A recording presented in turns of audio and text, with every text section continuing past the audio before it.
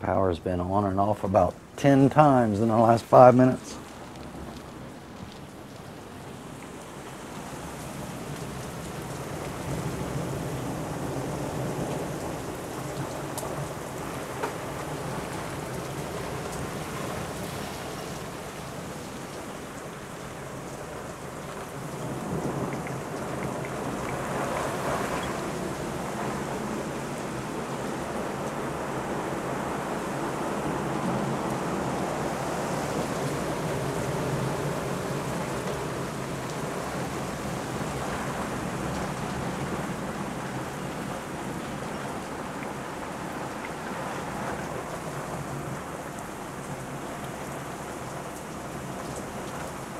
And internet's down.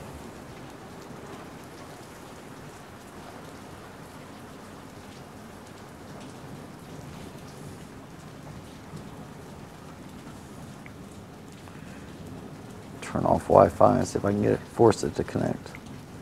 There we go.